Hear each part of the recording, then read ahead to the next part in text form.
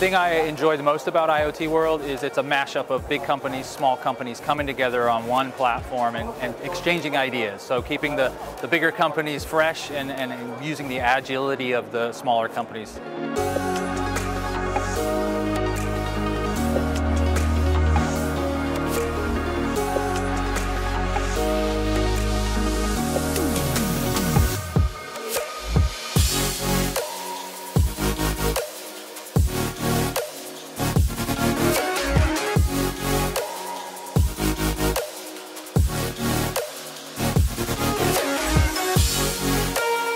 The exhibition thus far has been great. I think the floor traffic has been really solid. The number of people that have been by our booth as a, as a, as a vendor, as someone who's talking about IoT, has been really strong and something that uh, we'll certainly come back to.